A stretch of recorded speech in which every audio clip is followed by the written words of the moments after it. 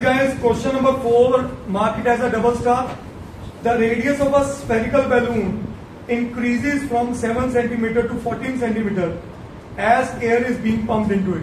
पहले क्वेश्चन को समझिए एक स्फेरिकल बैलून ऐसा है और जब इसको हवा और भरी गई ये कुछ ऐसा बन गया ये पहले केस में रेडियस था 7 सेंटीमीटर और दूसरे केस में रेडियस क्या आ गया 14 सेंटीमीटर ठीक है जी मैं इस रेडियस को स्मॉल आर कह दू और इसको कैपिटल आर कह दू। चलेगा?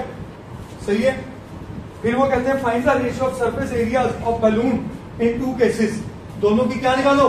रेशियो आज एक बात सुन लो सारे। कभी भी रेशियो का क्वेश्चन आए ना, पहले वैल्यू सॉल्व नहीं करना। टाइम वेस्ट नहीं करना वैल्यू सॉल्व करके। हमें उसने क्या बोला?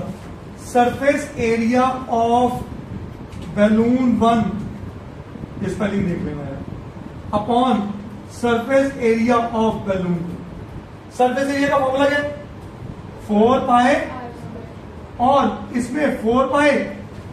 आई होप यू अंडरस्टैंड क्योंकि उसको मैंने पहले कैपिटल आर अज्यूम कर दिया। फोर पाई और फोर पाई कट गया। मैं इसी पॉइंट के लिए कह रहा था, पहले वैल्यूज़ नहीं सॉल्व कर। टाइम वेस्ट नहीं करना।